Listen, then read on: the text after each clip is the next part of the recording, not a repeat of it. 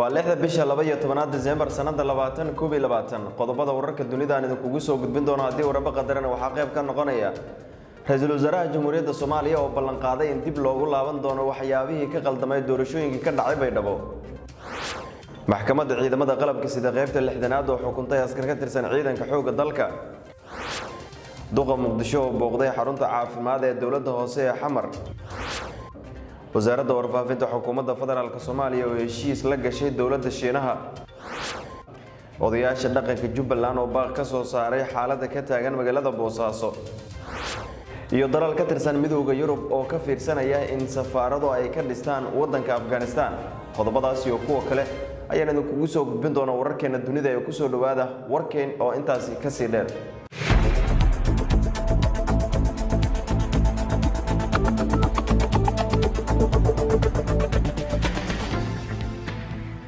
kale ismaqal wanaagsan isku soo noqod wanaagsan. Waxaynu ku hormaraynaa ra'iisul wasaaraha jamhuuriyadda federaalk ah ee soomaaliya mudane maxamed xuseen rooble oo magaalada muqdisho ee caasimada dalka warbaahinta kula hadlay islamarkaana daafuray shir looga hadlay arrimaha ku saabsan kala guurka dalka iyo sidoo kale arrimaha doorashooyinka ayaa ballanqaaday in dib loo sixi doono waxyaabihii ka qaldamay doorashooyinka golaha shacabka ee baarlamaanka federaalk ah ee soomaaliya ee ka dhacay magaalooyinka boosaaso waa magaalooyinka baydhabo iyo sidoo kale magaalada dhuusamareeb oo caasimad u ah dowlad goboleedka galmudug ra'iisul wasaare maxamed xuseen rooble ayaa sheegay in habsame u socodka doorashooyinka iyo sidoo kale xilliyada kala guurka dalka ay muhiim u yihiin in ay la socdaan guud ahaanba ummadda soomaaliyeed waxaana uu tilmaamay in waxyaabihii qaldamay dib loo sixi doono.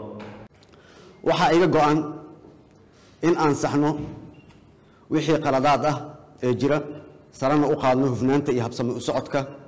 Mudan yaalin marwooyin anigoo tixraacaya qorshaha sagaalaad ee qaranka iyo barnaamijka xukuumadda kulamadan iyo wadatashiyadan waxaan rajaynayaa in ay nooga soo baxaan xogo iyo daraasado dhammaystiran ee ku saabsan heerka uu marayo geedi socodka dhismaha dowladnimada xilligan talooyin wax ku ool ah oo ku saabsan dardargelinta iyo dhammaystirka waxyaabaha dhiman si loola wadaago dowladda imaanayso hadduu alla subxaana wa tacaala idmo.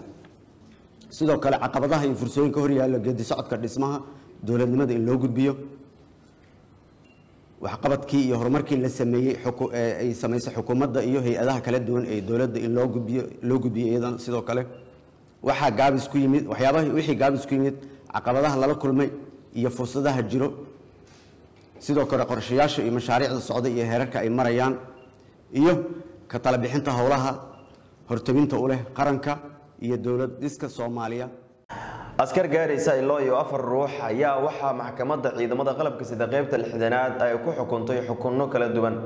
Askartan ayaa lagu eedeeyey amar diidmo iyo sidoo kale ka soo bixid difaacyadii ay ku jireen iyo sidoo kale ka dhex abuuridda ciidamada dhexdooda arrimo ku saabsan qabaa'il. Gudoomiyaha maxkamadda ciidamada qalabka sida qaybta lixdanaad ayaa xukunka maxkamadda ku dhawaaqay oo askartan afarta gaaraysa lagu riday. Sidoo kale maxkamadda dable xooga soddon iyo sagaal todoba sheegow macalin yare maxamed isaaq ina muslimo ibraahim aadan cali labaatan sideed jira ku dhashay busley gobolka baay degan baydhabo xaafadda mursal ka tirsan horinta taliska guutada sideedaad taliska qaybta lixdanaad waxay ku xukuntay asagana saddex bilood oo xabsi ciidan ay ku xukuntay asagana sidoo kale dable xooga maxamed nuur aadan diiriye ina faadimo xuseen maxamed jira ku dhashay goofgaduud buurey degan baydhabo xaafadda buulo jameeco ka tirsan ururka lixaad guutada sideedaad taliska qaybta lixdanaad. Asagana waxay ku xukuntay saddex bilood oo xabsi ciidan. Wasaaradda warfaafinta xukuumadda federaalk ah ee soomaaliya ayaa heshiis la gashay dowladda shiinaha kaasi oo ku saabsan dhismaha xarumaha danta guud heshiiskan waxaa kala saxiixday labada wasiir ee wasiirka wasaaradda warfaafinta xukuumadda federaalk ah ee soomaaliya iyo safiirka dowladda shiinaha u fadhiya soomaaliya. Waxaana uu ku kacayaa sidii loo dhisi lahaa xarumaha danta guud oo ugu horeeyo tiyaatarka qaranka oo dibudayactir xoogan uu sheegay wasiirka wasaaradda warfaafinta xukuumadda federaalk soomaaliya inuu u baahan yahay. Saxiixa kadib waxaa warbaahinta la hadlay wasiirka wasaaradda warfaafinta xukuumadda federaalk soomaaliya cusmaan abuukar dube oo warbaahinta u faahfaahiyey waxyaabihii heshiiskan uu ku saabsanaa iyo sidoo kale qorshaha uu doonayo in gebi ahaanba laga fuliyo magaalooyinka dowlad goboleedyada dalka iyo magaalada caasimadda ah ee muqdisho.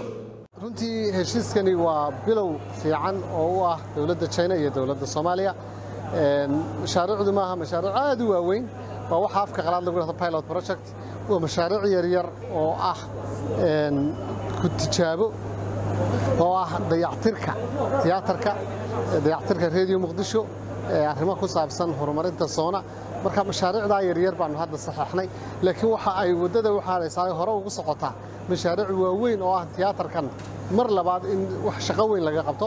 Tiyaatarku shaqo weyn buu u baahan yahay tii ayaa la dhisay. Waxaa dhisay dowladdii jiinaha ee wakhtigaas oo runtii xisbigo ilaa hadda talada hayaba uu yahayba xisbigii dhisay. Duqa magaalada muqdisho cumar maxamuud maxamed cumar finish ayaa kormeero kala duwan waxa uu ku sameeyey xarunta dowladda hoose ee xamar gaar ahaana qaybta caafimaadka iyadoona uu u kuurgelayay adeegyada bulshada loo hayo iyo sidoo kale shaqooyinka habsamay u socodka. Markaasi sida dardarka leh uga socda xaruntaasi waxa uu kulamo kala duwan la qaatay oo weliba warbixinno uu ka dhageystay agaasinka waaxda caafimaadka ee dowladda hoose ee xamar iyadoona ugu dambeyn uu ka warbixiyey agaasinka waaxda caafimaadka ee halkaasi. Waxaana uu sheegay in guddoomiyaha gobolku ay warbixinno kala duwan ka siiyeen xaaladda xarunta iyo sida ay bulshada soomaaliyeed ugu shaqeeyaan. Maanta waxaa kormeer shaqa noogu yimid gudoomiyaha gobolka banaadir ahna duqa magaalada muqdisho. Gudoomiyaha waxaa kormeer uu ku sameeyey qeybaha kala duwan ee leedahay agaasinka caafimaadka asoo mid mid uga dhageystay madaxda qeybahaas shaqooyinka ay hayaan warbixin fiican ka siiyey gudoomiyaha waxaan la wadaagnaa halkii sano ee adeega caafimaadka gobolka banaadir lagu soo wareejiyey waxyaabihii guulaha ah ee u qabsoomay iyo heshiisyadii waaxda caafimaadka ee la gashay. Baartinarada kala duwan ee ka shaqeeya gobolka banaadir ha noqdaan international iyo kuwo maxaa la yihahdaa local ah. Sidoo kaleet gudoomiyaha waxaan la wadaagnay culeysyada iyo caqabadaha hortaagan adeegyada caafimaadka wuxuuna ballan qaaday gudoomiyaha gobolka banaadir inuu arrimahaas wax uu ka qaban doono miisaaniyadda gobolka banaadirna wax loogu allokeyd garay doono horumarinta adeegyada caafimaad. Magaalada boosaaso ee xarunta gobolka bari markan haddii aynu eegno maalin ugu dambeeyey waxaa ka taagnaa xiisad u dhexaysay ciidamada loo yaqaano b s f iyo kuwaas kale ee dowlad goboleedkaasi puntland ka howlgala.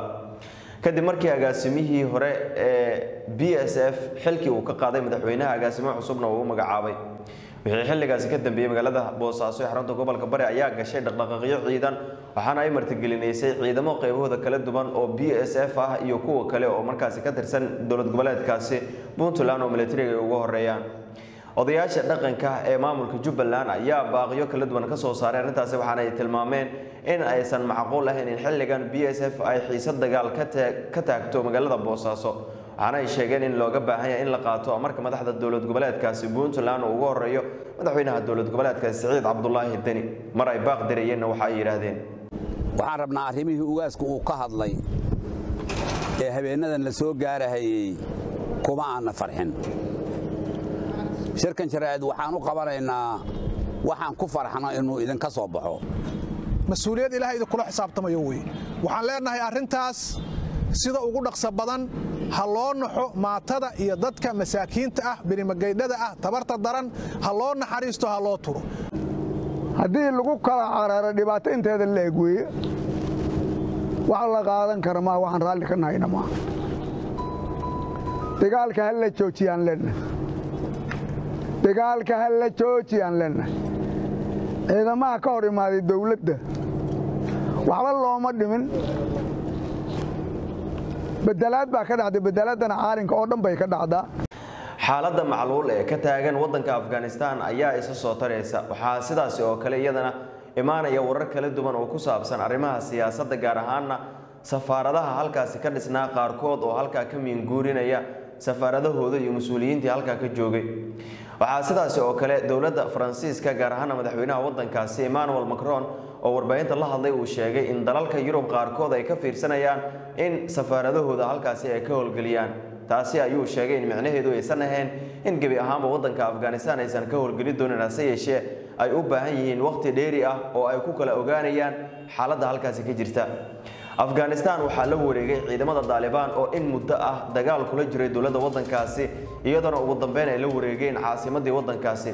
Waxaa sidaasi oo kale socda gargaaro kala duwan oo qaramada midoobay ay gaadhsiinayso dadka shacabka ah ee dhibaatooyinka kala duwan ku wajahaya gobollada waddankaasi oo ay ugu horeyso caasimadda waddanka afghanistan. Qaybihii dambe wararka dunida ayaan isla soo gaaranay saaxiibayaal gudaana intaas ayaan jeclan inaan ku hakiyo barnaamijka ama wararkii dunida. Anigoo cumar guuxaa soo saaray halkan idinkala socodsiinayey kaamirada iyo farsamada yuusuf abubakar ibraahim ayaa ka qaabeynayay. Intaaynu ku kulmi doonno warkankiisa xiga waxaan idinkaga tegaynaa isma dhaafno